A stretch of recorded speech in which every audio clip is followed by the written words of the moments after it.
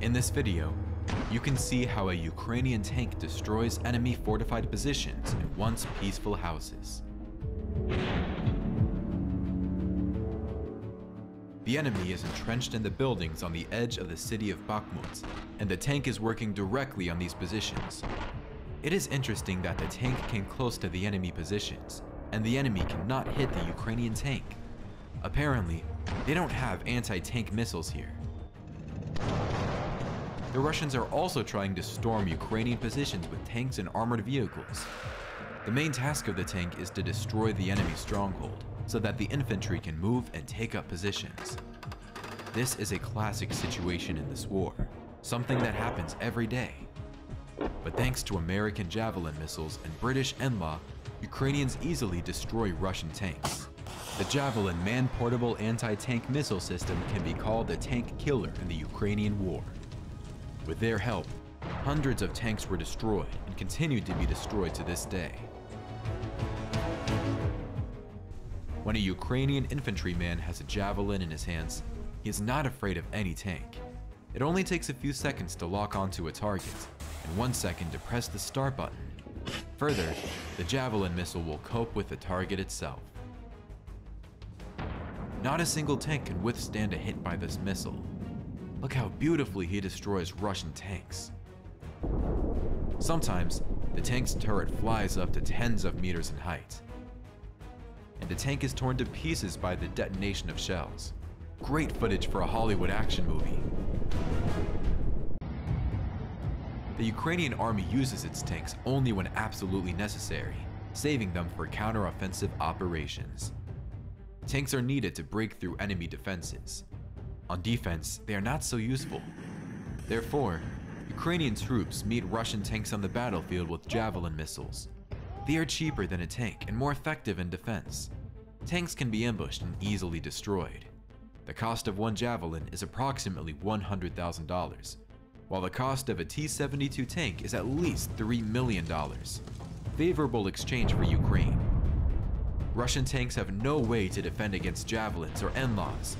Here's a good example of how a tank's reactive armor turns out to be useless. A Javelin missile hits a moving Russian tank on the battlefield.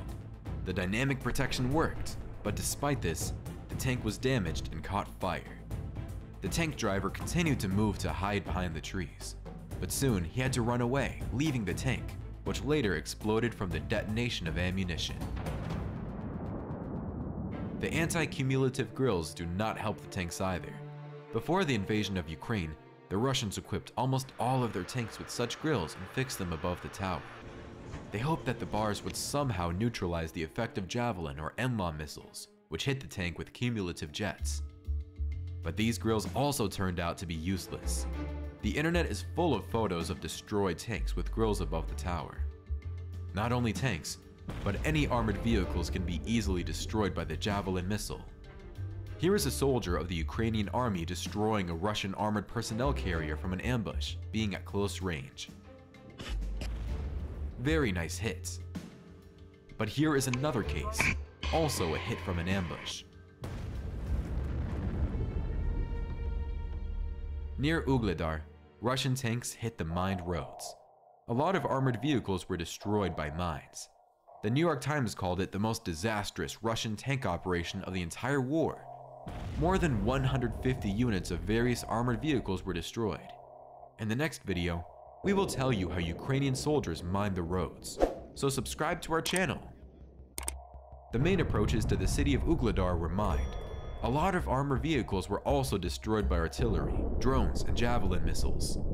After that, the Russians sent forward a special mine-clearing vehicle, the UR-77 meteorites, but this machine was hit, most likely by a javelin missile from an ambush, and then it caught fire and exploded.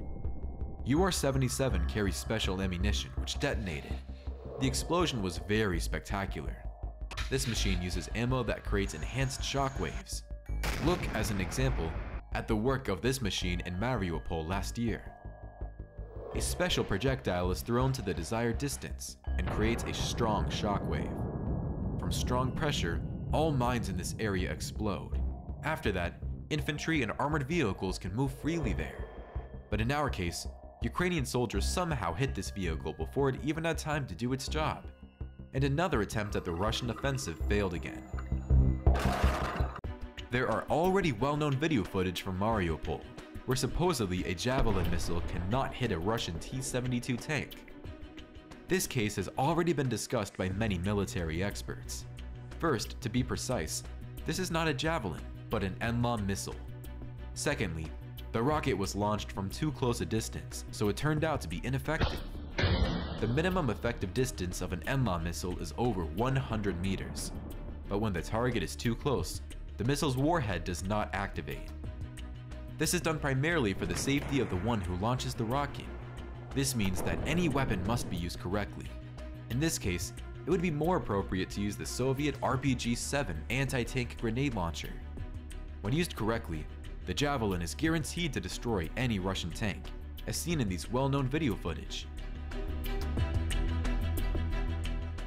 The Javelin inflicts terrible damage on tanks, turning them into scrap metal. Such tanks are no longer subject to restoration. Sometimes, tanks are completely torn to pieces. According to some statements by the Ukrainian military, the Javelin can even be used to destroy low-flying helicopters. We have one such accident recorded on video. Unfortunately, we cannot confirm that it was a Javelin missile. It is impossible to understand which missile shot down the helicopter.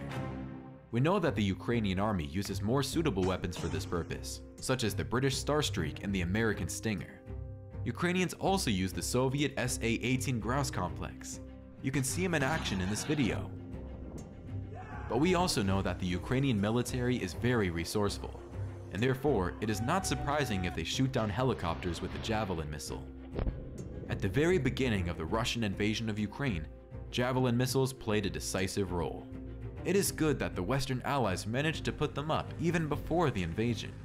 Then, the Russians advanced to Kiev in long columns, and the Ukrainian soldiers destroyed these columns from an ambush. The Russians lost hundreds and hundreds of units from various military armored vehicles. They were forced to recognize the Javelin missile system as an ingenious military invention due to its effectiveness and ease of use. The Javelin system consists of two components, the missile and the launch unit. The missile is a fire and forget weapon that uses an imaging infrared seeker to track and engage the targets. The complex is equipped with a display screen and a joystick that allow the operator to guide the missile to the target. The Javelin missile has a range of up to 2.5 kilometers and can penetrate up to 600 millimeters of armor. It is designed to engage both stationary and moving targets, including those in urban environments. The missile can be fired from a variety of positions, including from the prone position or from behind cover. Let me remind you that the Russians still have nothing to compare. If you like today's episode and you would like me to continue to make such releases in the future, then you can support my channel by becoming its sponsor and donate a small amount. To do this, click the appropriate button under this video. I will be grateful and encouraged to keep making new videos.